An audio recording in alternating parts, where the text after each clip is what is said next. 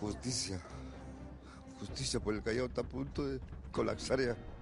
La violencia en el Callao ha llegado a tal extremo que la vida de una persona tiene precio. Y nuestro Callao, Chalaco Neto se ha puesto pero lo peor.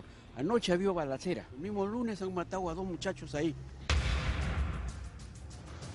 No respetan la vida ni a los muertos. Miguel Aste Zunino, de 22 años, y Aarón Alvarado Carvajal, de 21, fueron asesinados de 15 balazos en el Girón Atahualpa con las Américas. Los sicarios llegaron caminando con una mini UCI y no contento con el sangriento asesinato, regresaron al día siguiente al velorio para desatar una feroz balacera que cobró la vida de uno más. Estaban velando al primero que lo mataron y estaba en la calle, con el cajón, con todo, y los tiras, yo le llamo, agarraron la pistola así, pa, pa, pa, pa, y chaparon a cuatro.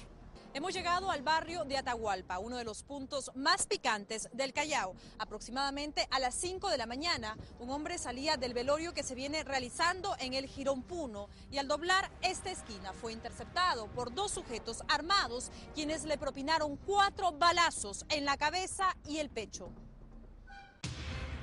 La policía maneja la hipótesis que la causa de este triple asesinato fue por una venganza por incumplir con el envío de droga. Sin embargo, la familia no cree en esta versión. Estaba ingiriendo su, su ceviche ahí en la calle Atahualpa. Y al llegar por unas palomillas y lo han disparado. Quizás se confundieron, ahora a- a- algo de por medio. ¿Cuántos años tenía su hijo? 22 años. Aquí en el Callao ya estamos cansados ya. La muerte de estos tres jóvenes chalacos se suma a la nefasta lista de asesinatos en el primer puerto, que solo en lo que va del año superan los 70 homicidios. Una cifra alarmante que mantiene en zozobra a la población. Queremos seguridad, queremos seguridad, queremos seguridad, y más nada que seguridad, más nada, más nada. Han matado a dos chicos y hay uno herido en el hospital, dicen que ya no puede uno ni salir porque nos cae una bala perdida nomás.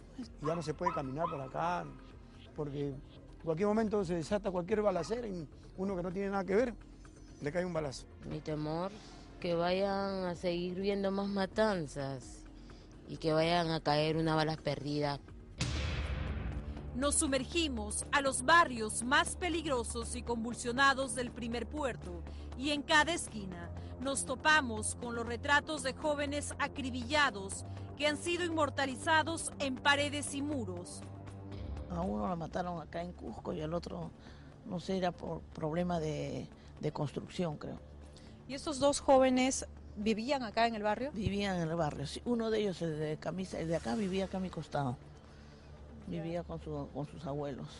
Los vecinos tienen que convivir casi a diario con las balas, sangre y muerte. Han sido 16 balazos. Todos salieron, gritaban la gente, desesperada.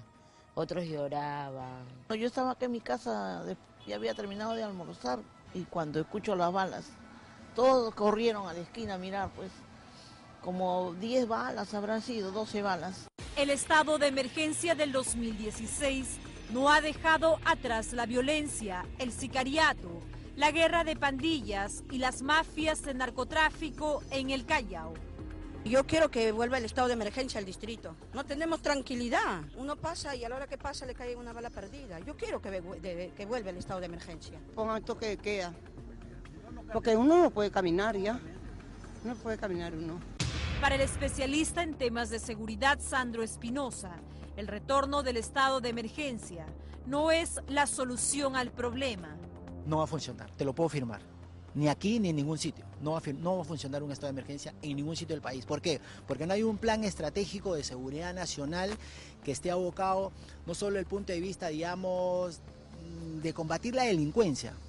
O sea, es como si tú quisieras combatir solamente el síntoma, ¿no? No vas a combatir realmente la enfermedad.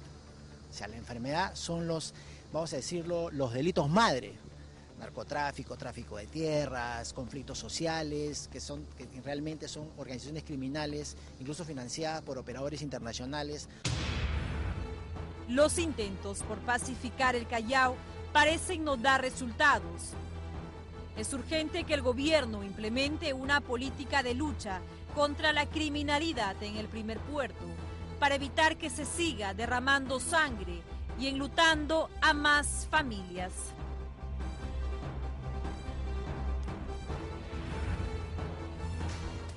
Vamos a